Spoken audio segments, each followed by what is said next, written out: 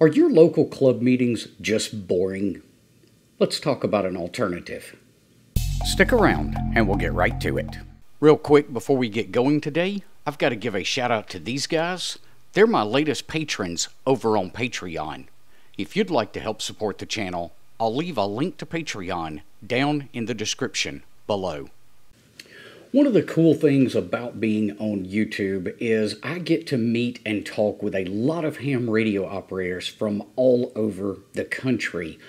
Unfortunately, one of the things I hear from them way too often is they aren't engaged in a local club, uh, basically because they find them boring. And I don't quite understand that because my local club is pretty active and they're always doing something outside of normal club meetings uh, in what they call Project Saturdays, where they're exploring something new. Maybe they're exploring WinLink or maybe they're doing a battery box build or whatever the, uh, the event happens to be. But I do understand that in a lot of areas, clubs are not that active. So I wanted to tell you guys about a group that I know here in East Tennessee and how you might can do something similar in your area. And the group in East Tennessee is called the Mountain Toppers, and this is an absolutely phenomenal group of guys and gals. These guys get together and just go up to the mountains to play radio. Now, they schedule these events several times a year, but in March specifically, they do what's called March Madness, where they go up to the mountains, rain or shine, every single Saturday through the month of March. And this past Saturday, I had the opportunity to tag along and experience the fun. Now, this isn't a club or organization of any type. It's just a group of guys and gals that enjoy the outdoors and ham radio. And when they set out, there usually isn't much of an agenda. They just go up and pick spots to operate from and basically kind of allow everyone to do their own thing, whatever that happens to be for the day.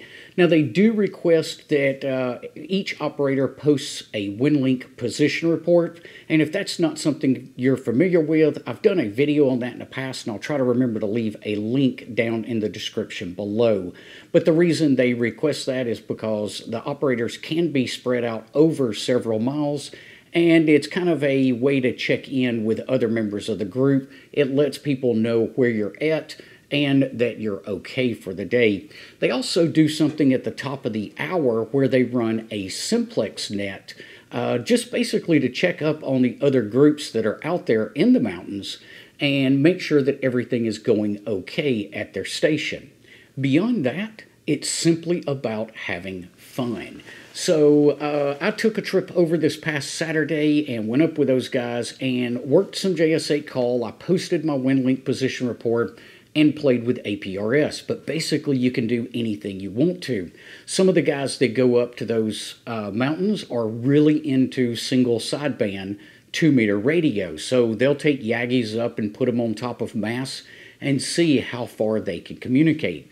Others uh, enjoy uh, 2 meter FM simplex, and with that kind of elevation in our area, you can really reach out quite a ways, even with a 5 watt HT.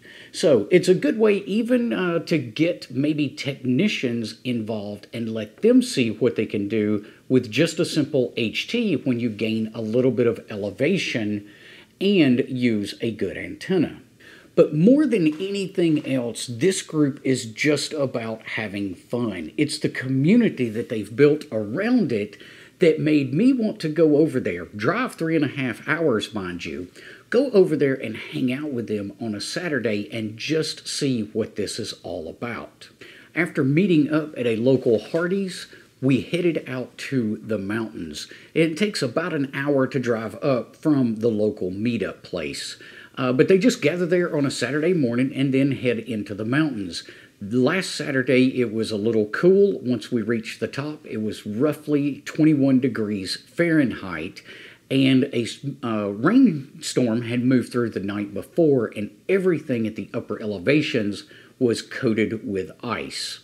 Once we got to the top, everyone started setting up their gear. I set up the 705 and the Evolve laptop and just piddled around for a little bit. But a lot of what happens, uh, especially for me, is I like to interact with the other hams.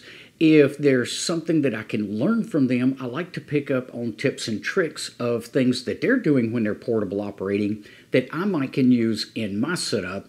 And I love to share tips and tricks during the day. So it is just a fantastic way to learn from each other. For instance, uh, one of those guys had a Yaesu FTM 300 in their vehicle, and they weren't quite sure how to read their APRS messages that they had received.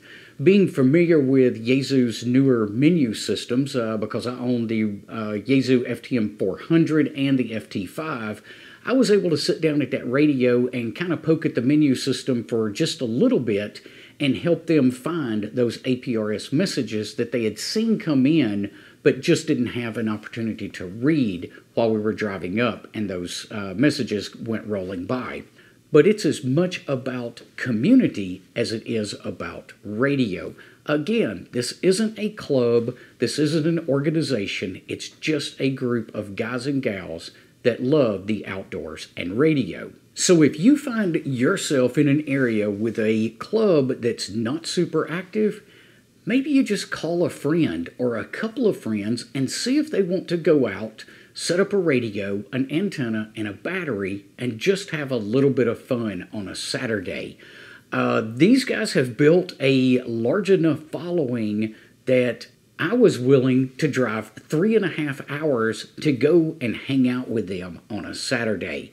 Now, they've been at it for a couple of years, so it wasn't as large of a crowd uh, in the beginning as it is now. And in fact, this past Saturday was actually kind of a small group. There was only five of them that went out. I think they said on the previous Saturday they had 12 or 14 operators spread out across uh, these mountains playing radio on a given day. But if you just stay after it, you can get a group together that enjoys doing what you love just as much as you do.